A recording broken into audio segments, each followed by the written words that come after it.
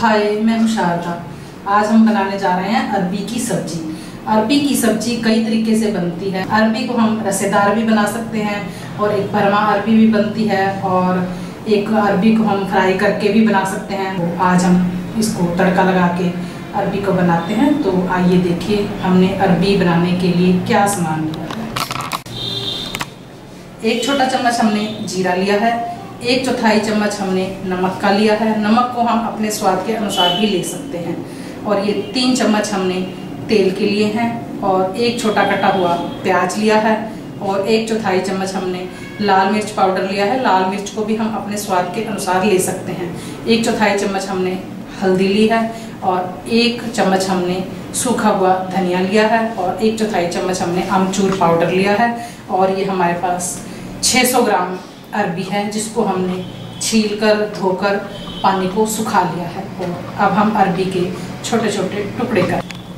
तो सबसे पहले हम अरबी को छोटे छोटे टुकड़ों में इस तरीके से काट लेते हैं। ये अरबी ली हमने, और इसको हम इसके दो पीस कर ली और इस तरीके से हम इसको काट लेते हैं।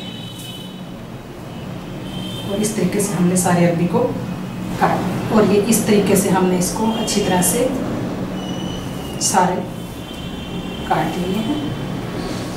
बनाने के लिए अब सबसे पहले हम गैस को ऑन करते हैं।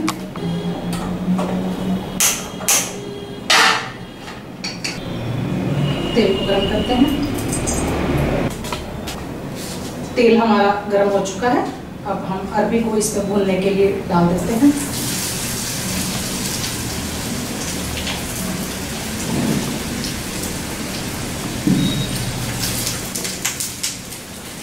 सुनहरी होने तक हम इसको तेल में ऐसे ही भूनेंगे।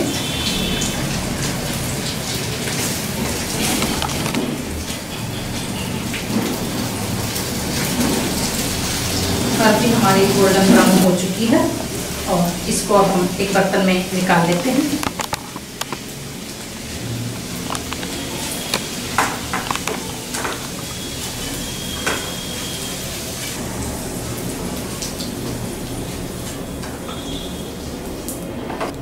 इसी का जो बचा हुआ हमारे पास तेल है, वो हम यूज़ करेंगे।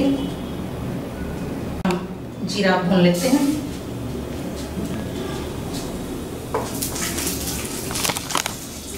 जीरा को हम गोल्डन ब्राउन होने तक भूनेंगे। जीरा हमारा भून चुका है, अब हम इसमें प्याज डालकर प्याज को भून लेते हैं।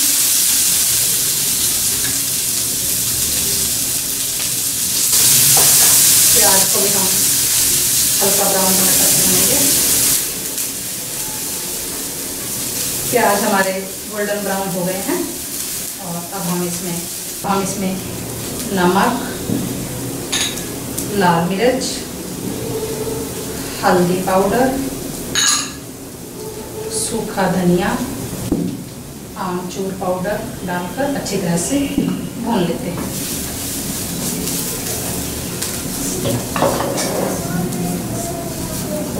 अरबी को इसमें डालकर इसको मिक्स कर लेते हैं।